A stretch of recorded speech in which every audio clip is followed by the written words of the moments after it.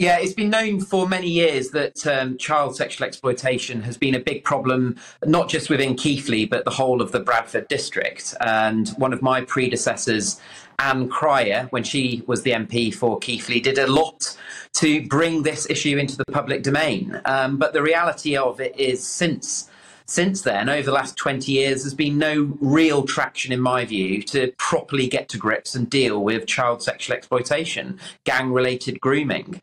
Um, and I do feel um, that this issue has been in effect swept under the carpet for far too long. And uh, those organisations um, that have de- have had dealings with uh, child sexual exploitation cases have um, not been held to account as robustly as they should have been done for for a number of years. And the reality of it is, unless we do that, we cannot move forward by providing that trust back into the victims and those families that have unfortunately been um, exploited through child sexual exploitation, gang related grooming for too long.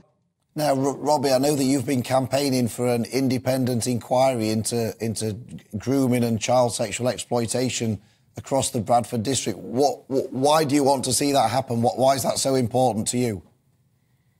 Well, it's it's absolutely important that we have a full Rotherham style inquiry into child sexual exploitation across the Bradford district. And the reason why is because we have to install trust back into society that those organisations that have failed, let's be honest about that, failed the most vulnerable in our communities for too long, are held to account. We have to get to grips on the complexities of child sexual exploitation and why areas like uh, the Bradford district, like Keighley, have been impacted by this this issue, this awful issue that has haunted uh, places like Keighley for far too long. And, and until we understand the scale of that within the communities that I represent, and we understand properly the complexities and understand why those organisations have failed, um, we can't move forward, in my view. And a, a full Rotherham style inquiry would enable us to to move forward.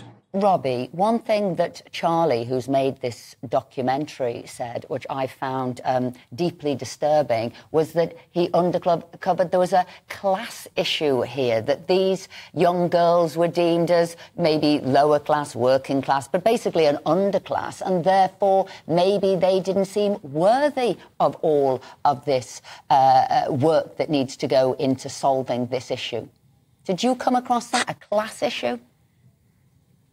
I think that's certainly potentially one of the elements that um, that people uh, that have been sexually exploited um, and got into um, criminal um, child criminal exploitation for a, a, long period of time have not been listened to because they've not been deemed worthy of being listened to, which is completely wrong, absolutely wrong. But I suspect that is um, one of the issues, but also I think political correctness has got in the way here. And I think we have to be frank about that for far too long.